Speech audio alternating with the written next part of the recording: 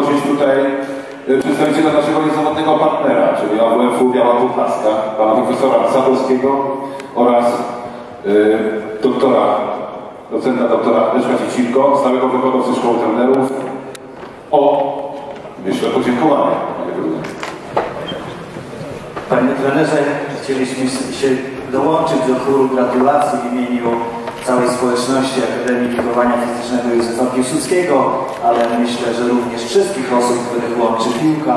Chcieliśmy Panu pogratulować wspaniałego osiągnięcia Panu, Panu drużynie, całemu sztabowi szkoleniowemu na Euro. Ten historyczny wyczyn jest dumą każdego prawdziwego Polaka.